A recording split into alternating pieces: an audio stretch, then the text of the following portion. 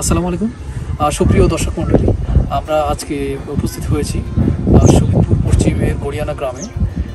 তো এখানে আমাদের সাথে আজকে রয়েছে অত্র ব্লকের এক কৃষক, আবুল খায়ের। তো আবুল খায়ের মজুমদারের কর্মোদ্যম দেখে আমরা তাকে নোয়াখালী, লক্ষ্মীপুর, ফেনী চট্টগ্রাম, চাঁদপুর, কৃষি উন্নয়ন প্রকল্পের আওতায় সর্জন প্রদর্শনী দিয়েছি।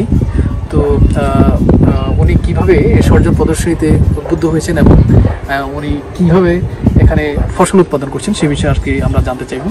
তো জনাব আবুল খায়ের সাহেব আপনার, আপনি মানে কীভাবে উদ্বুদ্ধ হলেন? মানে আপনার কি অন্যান্য কৃষির চাইতে আপনি সর্জন আসলে চিন্তা করে এটা আপনি এই প্রযুক্তিটি গ্রহণ করেছেন?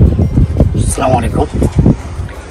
আসলে আমি কৃষি কেন হয়েছি যেগুলো আমাদের হলো যে এরি খেত। মানে এক ফসল ধান জমি ছিল পরবর্তীতে আমি চিন্তা করলাম যে এক ফসল ধান জমিতে এই মনে করেন না বৃষ্টি, এই অনেক বিভিন্ন সমস্যার কারণে কি পরে চিন্তা করলাম এটার মধ্যে ফাঁস খেতে করি মানে শাকসবজি খেতে করি পরে নিজ কারও কোনো সহযোগিতা পাই নাই, কিংবা কেউ যুক্তি দেওয়ার মতো এরকম কোনো লোক পাই নাই। পরে একদিন রান্নার বাড়িতে দেখলাম যে আমাদের কৃষি অফিসার বিল্লাল সাহেবের সাথে দেখা হইল।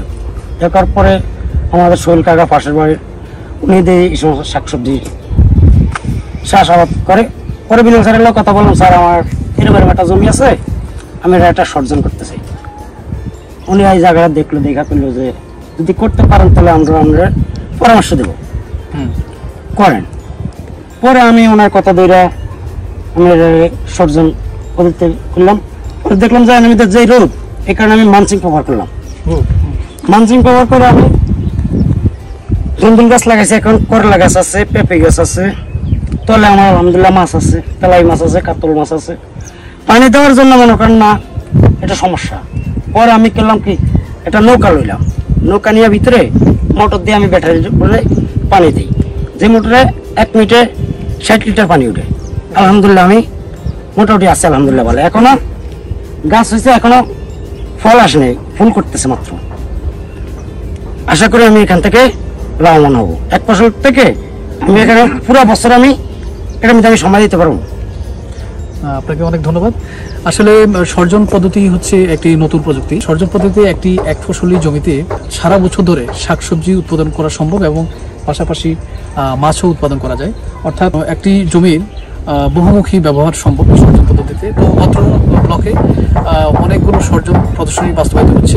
এবং এই প্রযুক্তিটি এই ব্লকে খুবই জনপ্রিয় এবং কৃষকরা এই প্রযুক্তিটি গ্রহণ করেছেন। তো আমরা আশা করি যে, আরও যে সমস্ত কৃষক রয়েছেন, যাদের নিচু জমি রয়েছে, তারা যদি এই প্রযুক্তিটি গ্রহণ করে, তাহলে তাদের কৃষি উৎপাদন কয়েকগুণ বৃদ্ধি পাবে। ধন্যবাদ।